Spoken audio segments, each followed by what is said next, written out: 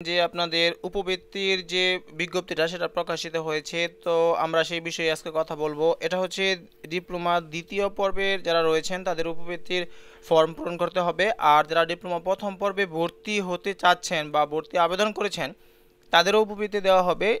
সেই বিষয়টা কি? আমরা সেই বিষয়টাও দেখব।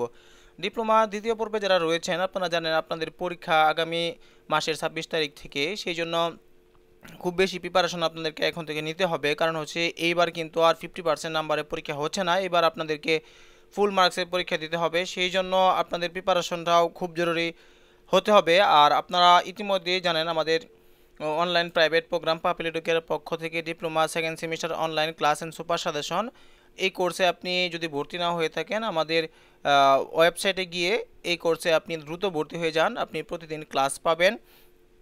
সকল বিষয়ে সুপার সাজেশন পাবেন। উত্তর সহ ইভেন আপনার প্রথম অধ্যায় থেকে শুরু করে আমাদের এইখানে ভিডিওগুলো রয়েছে। অর্থাৎ ভিডিও লেকচার শিট রয়েছে। লেকচার ক্লাস যেটাকে বলা হয় এবং লেকচার শিটও আপনি পাবেন। তো আমাদের উপবৃত্তির ক্ষেত্রে যে বিষয়গুলো আমরা প্রথম সেমিস্টারে পূরণ করেছিলাম, সেই বিষয়গুলো একটু দেখার চেষ্টা করব। যে প্রথম সেমিস্টারে পূরণ করে থাকলেও এইবার আবার পূরণ করতে হবে। তো এই ক্ষেত্রে আমাদের করণীয় কি কি বিষয় রয়েছে সেই বিষয়টা একটু জানব। আপনারা অলরেডি জানেন যে আপনাদের ক্ষেত্রে আপনাদের প্রতিষ্ঠান গতবার কিন্তু অফলাইনে আপনাদের কাছ থেকে ফর্ম পূরণ করে নিয়েছিল।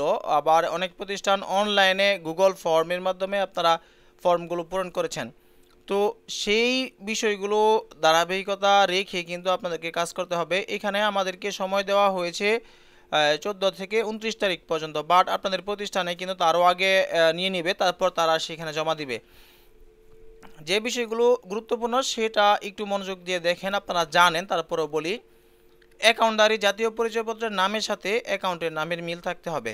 অর্থাৎ আপনি আর যে অ্যাকাউন্টে টাকাটা ঢুকবে, সেই অ্যাকাউন্টে যদি আপনার পিতা থাকে, আপনার থাকে বা জারি থাকুক, তার জাতীয় পরিচয়পত্র এবং অ্যাকাউন্টের নাম দুইটা মিল থাকতে হবে। মোহাম্মদও যদি ভুল থাকে তাহলেও হবে না। একই অ্যাকাউন্টের নম্বর একাধিক ব্যক্তির সামাজিক নিরাপত্তা বেষ্টনী অর্থপ্রাপ্তির ক্ষেত্রে ব্যবহার করা যাবে না। এই বিষয়টা কি?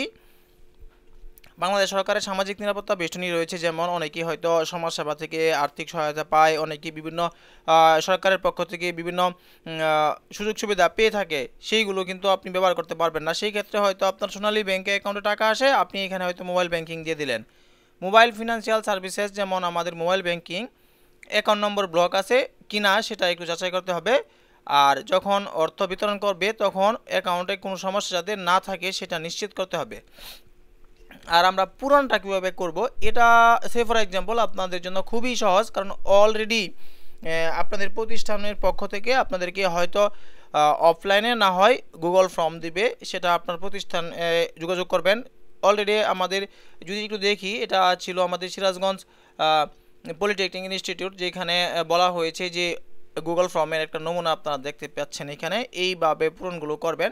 সিম্পল বিষয়, যেখানে লেখা থাকবে বাংলায়, সেখানে বাংলা লিখবেন, বাংলা লেখা না থাকলে ইংলিশে লিখবেন। আবার বরিশাল পলিটেকনিক্যালেও কিন্তু গুগল ফর্মের একটা নমুনা আমরা দেখতে পাচ্ছি যে এই সিস্টেমে আপনারা কাজ করবেন। আপনাদের প্রতিষ্ঠানের পক্ষ থেকে আপনাদেরকে গুগল ফর্ম দেওয়া হবে অথবা যে ফর্মই দেওয়া হোক না কেন, সেই ফর্মটা আপনারা পূরণ করবেন। এরপর হচ্ছে এটা সাবমিট করবেন। দ্যাটস এন আপ একটা জিমেল আইডি দিয়ে। আর তার পূর্বে আপনাদেরকে যে নির্দেশনাগুলো বলা হয়েছে, সেই নির্দেশনাগুলো একটু মেনে চলার চেষ্টা করবেন। এখন আসি আমাদের প্রথম পর্বে। যারা এই মুহূর্তে ভর্তি আবেদন করেছেন, তারা যখন ভর্তি হবেন আপনার সরকারি বিভিন্ন পলিটেকনিক ইনস্টিটিউটে তখন কিন্তু আপনাদেরকেও কারিগরি শিক্ষা বোর্ড কর্তৃক উপবৃত্তি যখন নোটিশ দিবে তখনও আপনাদেরকে ফর্ম পূরণ করা হবে। ফর্ম পূরণ করতে হবে, তো এটা চার হাজার টাকা পাবেন সামথিং এই টাকাটা প্রতি সেমিস্টারে আপনি পাবেন আরও বেশি। যদি না, প্রথম পর্ব থেকে দ্বিতীয় পর্বে আপনি কোনো রেফার না থাকে। এটা ছিল আমাদের প্রথম পর্বের শিক্ষার্থীদের জন্য। আর দ্বিতীয় পর্বের শিক্ষার্থীরা অলরেডি জানেন ফার্স্ট সেমিস্টারে আপনারা যেভাবে করেছেন প্রসেসটা একই রকম থাকবে। শুধু আপনার একটু চেঞ্জ যেটা মোবাইল ব্যাংকিংয়ের ক্ষেত্রে বা প্রথমে যে কথাগুলো বললাম সেইগুলো। আর আপনাদের পড়ালেখার কী খবর সেটি অবশ্যই জানাবেন। আর প্রথম সেমিস্টার যারা ভর্তি আবেদন করেছেন, তাদের কি অবস্থা সেটি অবশ্যই জানিয়ে